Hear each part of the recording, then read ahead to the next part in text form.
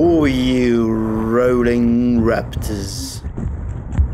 Check out the frame I'm riding. It's the Rockin' Mix 5 9080.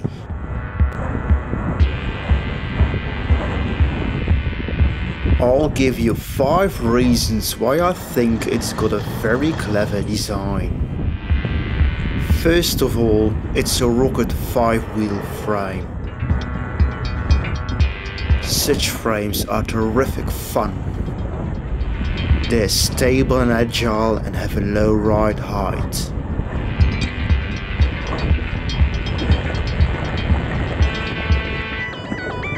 I especially love 5 wheel frames for riding stairs.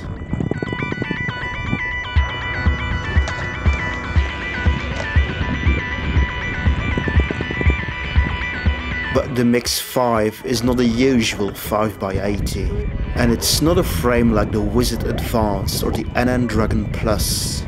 Those have got big wheels in the front and the back, but the three middle wheels are 80mm. The Mix 5 is a 90 80 90 80 90 setup and that makes it fast. A 5x90 is faster but also 2 centimeters longer. Its relatively compact design makes the Mix 5 a joy for riding a bowl.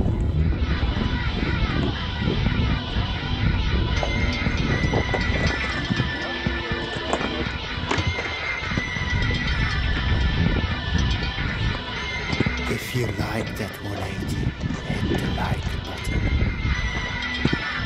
A rockered frame that's faster than most other 5-wheel frames but shorter than a 5x90 sounds great, huh?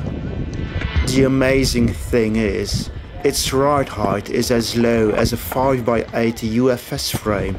It's barely 3mm higher.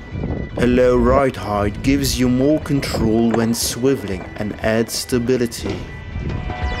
How did they do that? Well, the two 18mm wheels sit right under the frame bolts. That's the trick that makes this frame such a winner.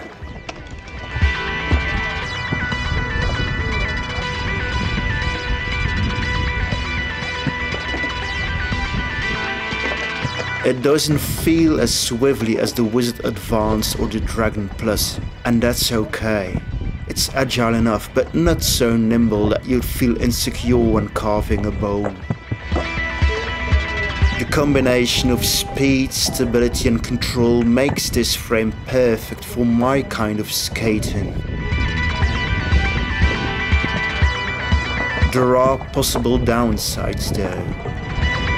For some people the 344mm wheelbase can feel too long. Also the combination of such a long frame with 5 bit wheels is quite heavy. This certainly ain't my lightest setup. But if you're into 5 wheel frames you'll surely love this one.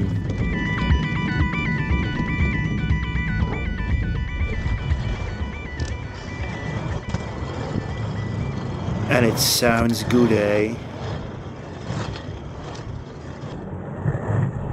Thanks for watching.